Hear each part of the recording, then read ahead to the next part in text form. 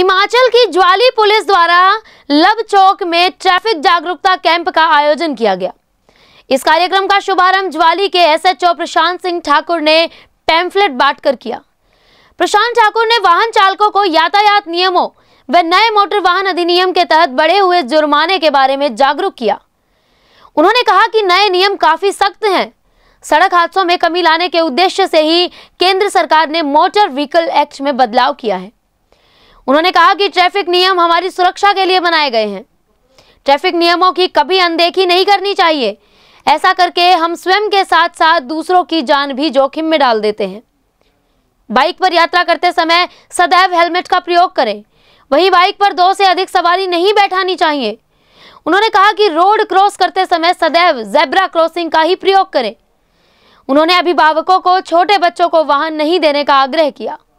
इस अवसर पर उन्होंने लोगों को बाहर निकलते वक्त मास्क पहनने का भी आग्रह किया इस अवसर पर तिलक रपोत्रा सुरेंद्र शिंदा दलीप दास अत्तर सिंह अमित भंडारी राकेश बाजवा कमल धीमान आदि मौजूद रहे ज्वाली से संवाददाता दौलत चौहान की रिपोर्ट जैसा कि आप सभी लोग विदित है सेंट्रली सेंट्रल गवर्नमेंट ने बिल पास किया था जिसमें कि जो ट्रैफ़िक फाइन्स हैं और ट्रैफ़िक वॉलेशन ज़्यादा बढ़ रही थी जो दुर्घटनाओं की दर है वो ज़्यादा बढ़ रही थी तो उस चीज़ों उन चीज़ों को देखते हुए, उन पर अंकुश लगाने के लिए गवर्नमेंट ने डिटेल्स पैदा करने के उद्देश्य से जो फाइन है ट्रैफ़िक फाइन्स को बढ़ाने का निर्णय लिया है। हालाँकि हिमाचल में भी इम्प्लीमेंट नहीं हुआ है, लेकिन बहुत जल्दी हम उम्मीद कर रहे हैं कि हिमाचल में भी बहुत जल्दी जो बड़ा हुआ फाइन है, वो इम्प्लीमेंट होना शुरू हो जाएगा।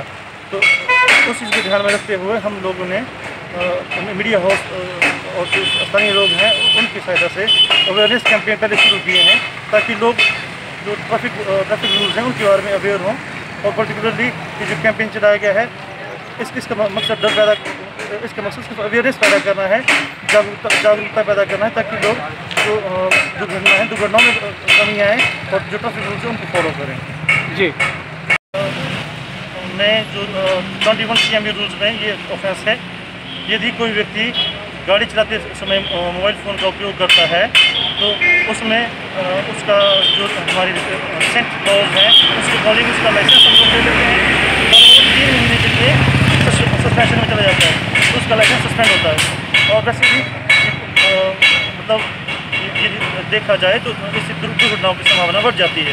क्योंकि जब आप फ़ोन पे बात करें, आपका ध्यान एक सेकंड के लिए भी यदि किसी और में चला गया तो अब दुर्घटना की संभावना बढ़ जाती है।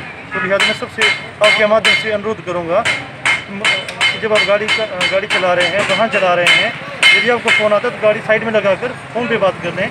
दोनों काम इकट्ठे ना करें।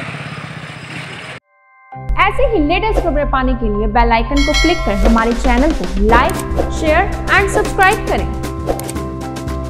धन्यवाद।